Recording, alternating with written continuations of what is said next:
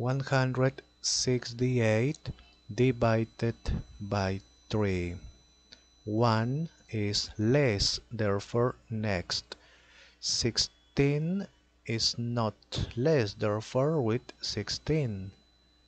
3 multiplied by which number is nearest to 16 but not greater 3 multiplied by 6 18 18 is greater 3 multiplied by 5 is 15 15 is not greater. Okay 16 minus 15 is 1 next 18 3 multiplied by 7 21 is greater.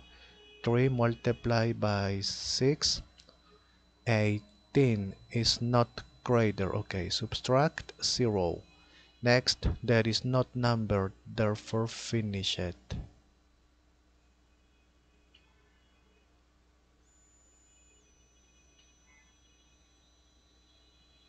Okay